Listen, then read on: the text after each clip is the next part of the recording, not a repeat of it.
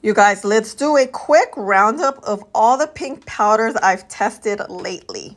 First one up is the Nessa Myrix. I find that this is very long lasting and mattifying. The only thing it's not as finely milled as I would like it and it does get stuck in my nose area but it does last very well and look at this shade the shade is perfect next one up is huda beauty i feel like huda beauty does great great powder this is i feel like what made everyone go crazy for pink powder. Very pigmented and you guys know it's very blurring and mattifying. Next one up, Laura Mercier has this peach pink powder. Laura Mercier's powders are so great. You know, they're long lasting, they're mattifying. And this shade is nice. It is though a little bit on the lighter side. Lorac Cosmetics, this is available on Amazon. I find that this is super, super blur blurring. It sets the under eye, skin, and eye area so, so well. And I really like this shade. Givenchy is the goat of powders. I really love this shade. This is the shade three. It is